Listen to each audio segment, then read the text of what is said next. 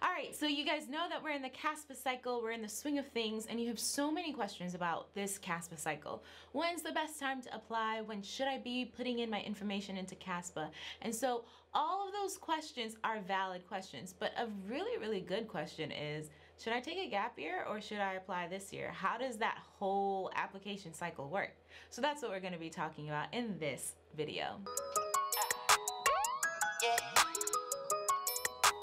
What's up you guys? It's Adanna. Welcome back to my channel. Thank you guys so much for joining me. If you were yesterday uh, and the team, I hope you saw all of the questions that we were able to answer because there were some really valid questions in that meet and greet. Um, if you missed it, it's up on the channel. So go look for the meet and greet with the GTCU team. Go check them out on their respective social medias, you guys. And please join GTCU so that you can get more interaction with them. Like I said before, we are rolling out that six week virtual shadowing program. So I know it's something that you all are going to benefit from. So definitely take a look at that. I wanted to talk to you guys today about essentially how the CASPA cycle works. So a lot of the questions that we had yesterday were about CASPA, were they were about applying to PA school. And I mean, that's really the big question, right? You know, what are my stats gonna need to be? What do I need to do with my personal statement? What's a great personal statement? When should I apply? Should I retake these hours? And those are all surrounding the application because you're trying to apply to PA school to get into PA school school to get that C. So with that being said, I had a question posed by Trinae Gibbs. She said, Hi, if a program starts in the spring of 2023, would I be applying the 2022-2023 cycle? I'm trying to determine if I should start just looking into taking a gap year for more PCE hours, shadowing, and volunteer hours. Thank you for your advice. Love your channel. All right, so this is not super complex in terms of when you should apply. So yeah, you know, if the program that I wanted to apply to is actually starting next year, 2022, then I would be applying to this CASPA cycle, the 2021-2022 cycle. Because what happens is you apply this year, CASPA has opened up in April, as many of you know that because I've been saying that for the past, I don't know, few weeks. So you apply this year, you will get interviews this year, right? Lord willing. And then from those interviews, you would get acceptances. Your acceptances would be either for a January start, a May start of 2022, or like a September, August start of, May, of 2022. When you are thinking about applying, just keep all of that in mind because you don't want to kind of knock yourself out of an application cycle because you thought you were applying for the right year. Um, you thought, hey, I can get all of these prerequisite hours in and these, you know, different classes that I need to get done.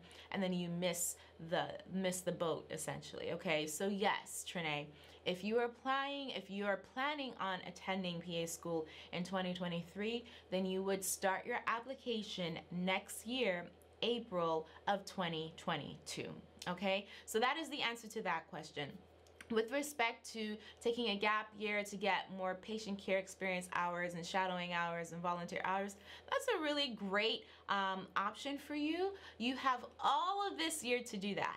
Uh, I don't know if you're taking a gap year because you just graduated and so you want to take this year to to apply uh, to apply for jobs and you know apply for shadowing um, opportunities or volunteer op opportunities at hospitals and clinics in your area. But if that is the case, then yes, you would essentially be taking one gap year to do all of that and then kind of sorta you would be taking another gap year like two gap years if you've already graduated right because in that next year you would be applying to PA school and you're not in PA school so you would be doing all of the various necessary things to get into PA school so you have two years to get your hours in and get your stuff together, okay? So that is what I wanted to talk to you guys about. I wanted to make sure you understood the concept of how the CASPA cycle works. It opens up every April and it closes every April, but it's not for the current year that you're in, it's for the following year. So again, if you're trying to apply to PA school in 2022 for a, a school that opens up in that year, then you need to be applying and putting in your CASPA application in 2021. Um, do anything that you can to continue to boost those hours it is important that you continue to update the CASPA application because schools do have the opportunity to look at that and they'll be able to see, oh, you know, when she originally applied, she had 500 volunteer hours, but now she has 700 because time flies. And so you don't want to sit up here and just be like, oh, that's my application, that's it. I, I'm not doing anything else as I wait to hear back from interviews. You're still going to be accruing those hours, so it's important for you to actually, you know, claim them okay? And claim that victory on getting into PA school. So much luck to every one of you. Um, the winners of our CASPA giveaway were announced yesterday. So if you don't know that you've won, please go and look at that video from yesterday because I mentioned who the winners were at the end of the video. So go ahead and check that out and see if you were one of the winners. Um, one of you has responded, Dorinda. I think you have not responded to me yet. So if you want to claim